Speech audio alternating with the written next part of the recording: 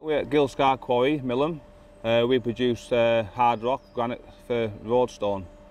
We're here today to see uh, an idea that we've had for numerous amount of years, but finally got put into practice about six months ago, involving a confined space issue we had with working on the lower deck of our UMM screen.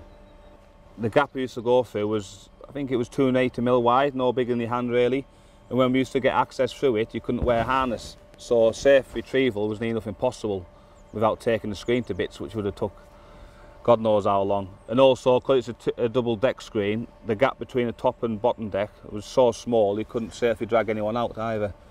So it, it was a very, uh, you didn't realise how unsafe it was until you look at it now and what we do now different.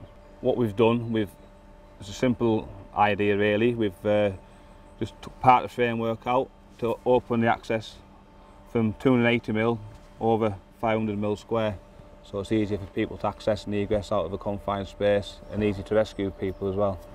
What we had to do then is we found that because we we're on a top deck we also had a working height issue so Phil Lowry and myself came up with an idea of putting some handrails around the section that we're working on and some steps so we can access it and egress it simply. So uh, when we got our framework up and set up we had a good safe access and platform to work from so and that was basically it from start to finish. It's a very simple idea and it works well.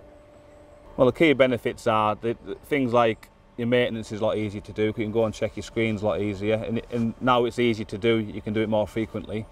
The confined space now is is a lot more easy, accessible, and it's a lot more easy to work with. And, and, and the main thing is a lot more safer.